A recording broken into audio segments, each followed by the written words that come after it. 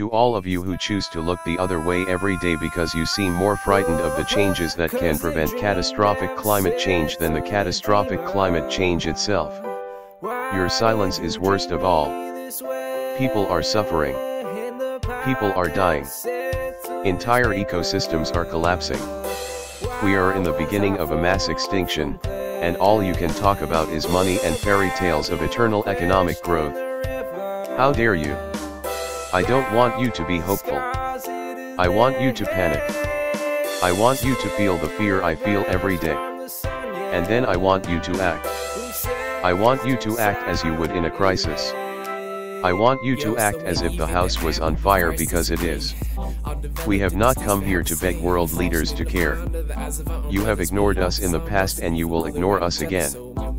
You have run out of excuses and we are running out of time.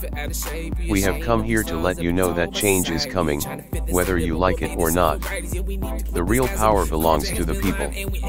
In August 2018, Greta Thunberg began protesting for action on climate change, outside the Swedish Parliament House.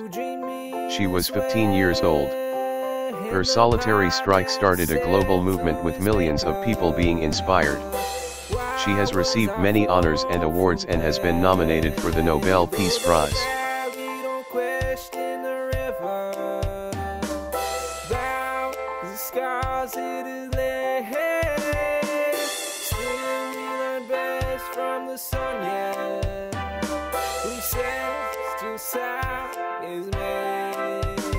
Cause it rises, it rises, it rises.